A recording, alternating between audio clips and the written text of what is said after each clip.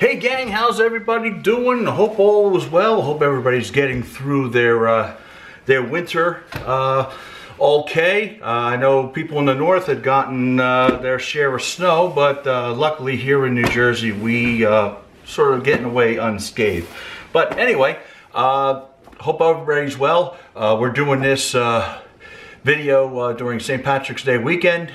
Uh, celebrations have already uh, been done. We've uh, corned beefed out and all the other things. So uh, we took that opportunity. Uh, once all the cooking's done, we took the opportunity to send my knives out to uh, get sharpened.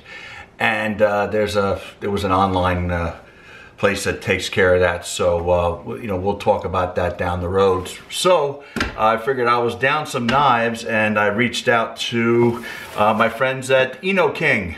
Uh, if you remember, uh, we did one about the Serbian knife. And I said, wow, that's, that's a great knife. And uh, so did a friend of mine. he thought it was a great knife. Uh, and, uh, well, he's going to be using it at his outdoor uh, barbecue.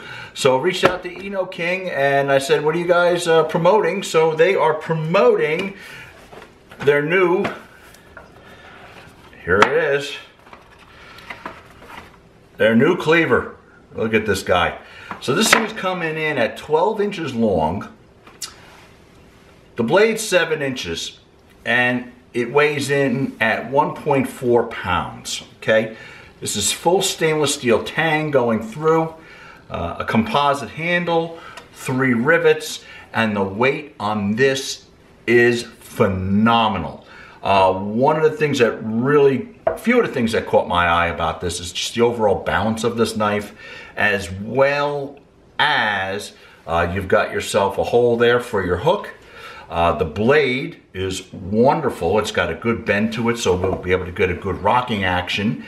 But what I've also found very interesting, like a lot of uh, cleavers, is take a look at the front edge here. Right? See how it comes out?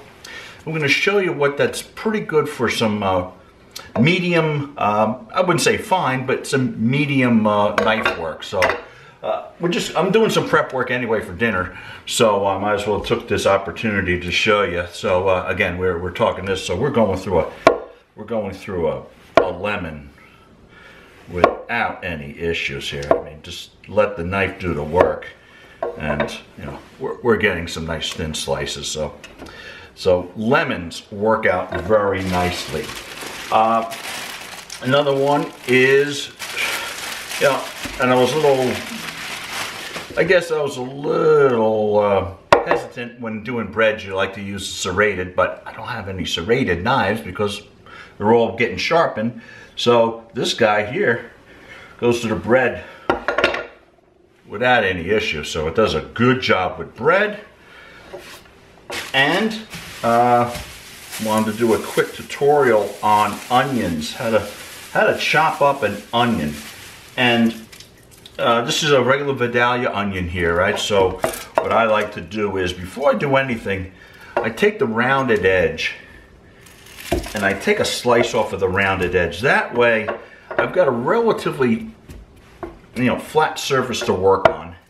And then we'll just take that off, take the back off, Get that out of the way. And then we'll uh, we'll take that skin off. Let's get the skin off. Come on. There we go. So I'll take the skin off. So what I do when I slice a, when I do a Vidalia onion here, right? Let's move this out of the way so you can see this. Uh, I do a couple slices like so. All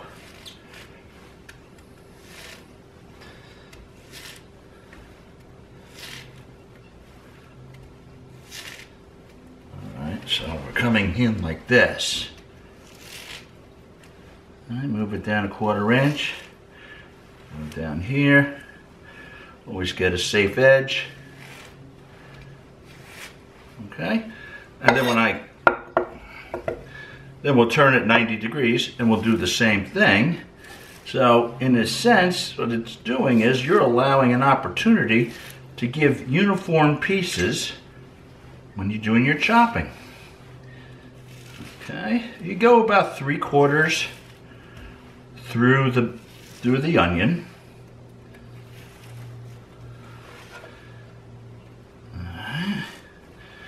And then when we there's our flat there's our flat edge. We'll come through. Look at that. Already chopped for you. So that's a little little tip that might be some helpful to you. Uh, so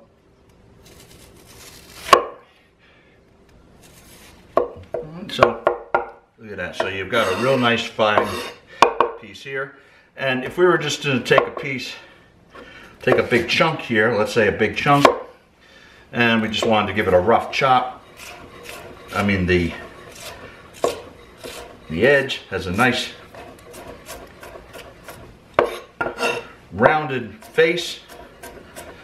So we get a good rocking action here. So I thought the Serbian knife was a great knife. And then we've got this one here. So as far as cleaning, all right, soap and water. We don't want to put our good knives in the dishwasher. The high heat and everything does not have a great effect on the riveting. So warm water, warm soapy water, clean it off. Make sure it's dry before you put it away. And uh, if, you know, down the road, if you're gonna be storing it in, say, say you're gonna use this as a camping knife, right? and this is like, this might be the only knife you're gonna need to bring on a campsite. Uh, get yourself some vegetable oil or some mineral oil, preferably mineral oil, all right? And if you're gonna be storing it for some long time, just put a coating of oil on it. That'll, that'll help reduce any rust if if it is, this is stainless steel. I don't see an issue with it, but it just, you know, keeps any of the others, makes for a protective barrier that you can use. So anyway, so as far as an all-around knife to keep at your barbecue, heck, here I'm keeping this in my kitchen uh, on a campsite or anything, I would definitely, highly recommend the Enoking. Uh, this is the cleaver. Uh, it's a 12 inch cleaver. I'll have a link down below uh, where you can get this. I think the last time I checked it was uh, it was under $25. So uh, great bang for your buck, uh, a wonderful value, and uh, that's it. again, I hope everybody's doing well. Feel free to comment, subscribe, and do all those other good things. And here's another thing I'm going to put this out to you. We need some suggestions. I want suggestions for some recipes. We'll do demos for you. If it's something that maybe you're having a uh, some issues with, some uh, you just need you know an extra set of eyes on it, I'd be more than happy to uh, you know walk everybody through that. So anyway, I want to thank the folks at uh, Enoking for presenting me with this knife. It's a great piece of goods, recommended highly. I'll have the link down below. I want to thank you all for watching. We'll see you real soon. Bye-bye.